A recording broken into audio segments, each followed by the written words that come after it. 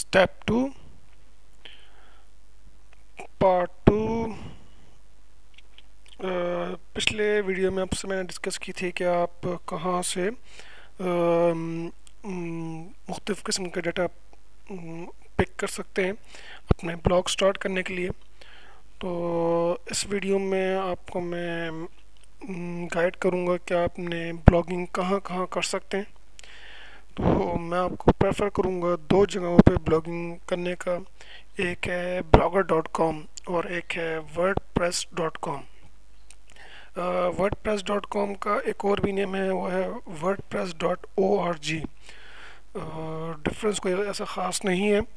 दोनों से हैं, बस उन्होंने डोमेन नेम जो है वो चेंज करके और इंटरफेस उन्होंने थोड़ा सा उनका चेंज किया हुआ है। ये दो जगहें हैं आपको जो मैं प्रेफर कर रहा हूँ। ब्लॉगर डॉट कॉम गूगल वालों का है, जहाँ पे आप ब्लॉगिंग कर सकते हैं बहुत इजीली और वर्ड प्रोसेस भी पे भी आप बहुत इजीली ब्लॉगिंग कर सकते हैं। इनके फीचर्स जो हैं वो ये हैं कि ये टोटली फ्री हैं, दोनों ब्लॉगर डॉट कॉम पर भी और वर्ड प्रोसेस पे भी आपको दोनों जगह पे आपको फ्री अकाउंट क्रिएट करते हैं और फ्री आपकी ब्लॉगिंग होती है।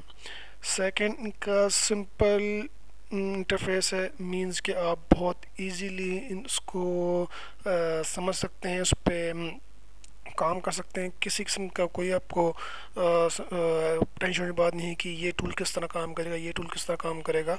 इस तरह की किसी किस्म की कोई बात नहीं है। थर्ड जो इसकी मेन रीज़न जो है वो ये है कि इसमें आपको एच की नॉलेज की ज़रूरत नहीं है। अगर आपको बिल्कुल भी एच की नॉलेज नहीं है तो आपके लिए फिर भी कोई प्रॉब्लम नहीं, आप इजीली काम कर सकते हैं। और अगर है तो आपके लिए तब भी बहुत इजीली है। और अगर आपको बिल्कुल भी नहीं है और आप मुख्त वेबसाइट्स पे जाके कुछ एच टी कोड्स देख सकते हैं, उनकी उनकी कम्बिनेशन देख सकते हैं और उनको फिर इस जगह पे बहुत इजीली इसको यूज़ कर सकते हैं। मींस के आपको एच की कोड्स अगर नहीं है नॉलेज तो किसी किस्म की कोई प्रॉब्लम नहीं, आप बहुत इजीली इस पर काम कर सकते हैं। इसके अलावा इसके जो फीचर्स जो हैं मेन वो कुछ बड़े इंपॉर्टेंट हैं, जैसे कि आप डोमेन नेम इसमें ऐड कर सकते हैं। शुरू में जब क्रिएट करेंगे तो वो उसका कुछ सपोज़ आपने पाकिस्तान के नाम से क्रिएट किया तो वो Pakistan dot blogger dot com बनेगा। Sorry Pakistan dot blog post dot com के नाम से बनेगा, या Pakistan dot word process dot com के नाम से बनेगा। तो आप बाद में इसको अपने डोमेन नेम के नाम से चेंज कर सकते हैं। मीन्स जब चाहें आप उसको अपना कहीं से डोमेन आपने परचेज़ किए, या अपने कहीं से आपके पास डोमेन मौजूद है ऑलरेडी तो आप उसको ब्लॉग क्रिएट करने के बाद वहाँ अटैच कर सकते हैं। फिर इसके अलावा इसमें थीम्स स्टार्ट जब करेंगे तो थीम्स की कुछ लिमिट्स होगी। शुरू में आपके पास आ, कुछ थीम्स लिमिट में होंगी कि आप ये थीम यूज़ कर सकते हैं। आप डिफ़ॉल्ट में वो थीम सेलेक्ट कर लें लेकिन बाद में जब चाहें आप जब फ़र्स्ट टाइम जब चाहें मीन कि आप सेलेक्ट डिफ़ॉल्ट में से आपको सेलेक्ट करना होगा डिफ़ॉल्ट में से और बाद में फिर आप अपने उसी टाइम या बाद में फिर कभी जब दिल चाहे, आप अपने थीम्स चेंज कर सकते हैं। जित, दिन में जितनी मर्ज़ी चाहें, आप थीम चेंज कर सकते हैं। सपोज़ आपको कोई थीम आपको अच्छी नज़र आई, आपने वो डाउनलोड किया और उसके बाद आप अपने ब्लॉग में ये थीम ऐड कर सकते हैं। फिर इसके अलावा इसमें आप अपनी मर्ज़ी के एड्स इंक्लूड कर सकते हैं। मींस आप अगर एक ऐड लगाना चाहते हैं, दो ऐड लगाना चाहते हैं तो ये आप पे, आप जितने मर्ज़ी इसमें ऐड लगाने चाहें, लगा सकते हैं। ब्लॉगर डॉट कॉम में गूगल के अपना ही एड सिस्टम में आप ब्लॉग क्रिएट करें और वहाँ पे अप्लाई करें। तो आप इजीली गूगल के एडसन्स अकाउंट क्रिएट करके आप वहाँ पे अपना ऐड अटैच कर सकते हैं। इसके अलावा आप इसको बहुत इजीली शेयर कर सकते हैं।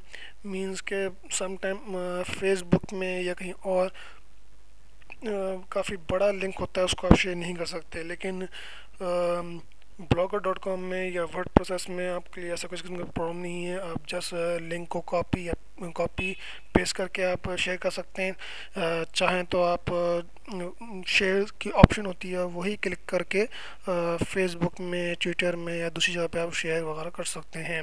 तो इट्स मीन कि आप शेयरिंग में किसी किस्म की इसमें कोई प्रॉब्लम नहीं होती। फिर एक और मेन जो है चीज़ वो है एस सिस्टम एस सिस्टम जैसे बात की थी पहले भी कि सर्च इंजन ऑप्टिमाइजेशन है, इसमें बिल्ट इन सिस्टम होता है। आपको किसी किस्म की एक्स्ट्रा कोई एडिटिंग करने की ज़रूरत नहीं होती। जस्ट जब आप क्रिएट कर लेंगे तो पब्लिशिंग के वक्त वो आपको कहेगा कि आपने कीवर्ड किस कौन कौन से कीवर्ड यूज़ करने हैं। वो कीवर्ड जो हैं वो वहाँ पे एंटर कर सकते हैं और आपको किसी किस्म की कोई मज़ीद एच कोड की नॉलेज की ज़रूरत नहीं या किसी किस्म की कोई एडिटिंग की ज़रूरत एडिटिंग की ज़रूरत नहीं है। आप जस्ट उसी में ही एक ऑप्शन होती है वहाँ जाके आप कीवर्ड्स दें और आ, उसको ईज़िली एस e करवा सकते हैं। फिर इसके अलावा एक चीज़, इसमें गैजेट्स की हैं, इसमें आप मुख्तु किस्म के गैजेट ऐड कर सकते हैं। कुछ बिल्टन हैं और कुछ आप एक्सटर्नली इसमें ऐड कर सकते हैं। जैसे पहले ही बात की थी कि गैजेट्स जो हैं मुख्तु किस्म के होते हैं। जैसे आई पी एड्रेस आपका लोकल आई पी एड्रेस बता ट्रैक करके बताएगा। आपका वॉल क्लॉक आपका क्लॉक हो गया, आपका कैलेंडर होंगे। तो इस तरह के मुख्त गैजेट्स होते हैं जो इस्तेमाल होते हैं। सर्च के गैजेट्स होते हैं ट्रांसलेट के गैजेट्स होते हैं। तो वो आप गैजेट इसमें इंक्लूड कर सकते हैं बग़ैर किसी प्रॉब्लम के। तो ये वो फीचर्स थे जिनके बारे में आपको मैं डिस्कस करनी थी। अब हम नेक्स्ट वीडियो में हम आपको बताएँगे कि किस तरह से आप, अपना ब्लॉग क्रिएट करेंगे। तो नेक्स्ट वीडियो में फिर मुलाकात होती है।